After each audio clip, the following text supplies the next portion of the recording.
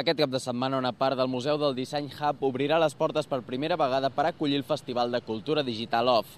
La inauguració definitiva de l'equipament, però, no està prevista fins a finals de 2013.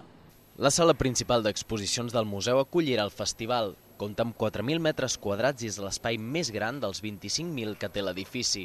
El futur museu aprofita el desnivell de la plaça per oferir dues parts diferenciades, una per sota del nivell del terra i l'altra per sobre.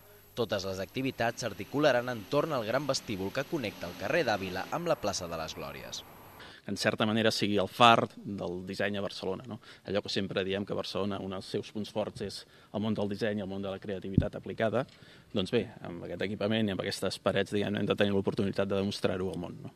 A les plantes subterrànies hi aniran les oficines, les sales de reserva de col·leccions i el centre de documentació. Al mòdul elevat s'instal·laran les exposicions, un auditori i la sala d'actes. A més, l'immoble també acollirà la futura Biblioteca del Clot, que tindrà una superfície de gairebé 1.700 metres quadrats.